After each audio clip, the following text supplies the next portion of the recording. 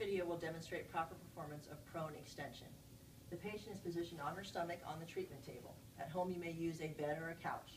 The arm is hanging down by the side, and then she's going to begin to lift that left arm straight up and back by contracting this muscle at the bottom of the scapula here and holding.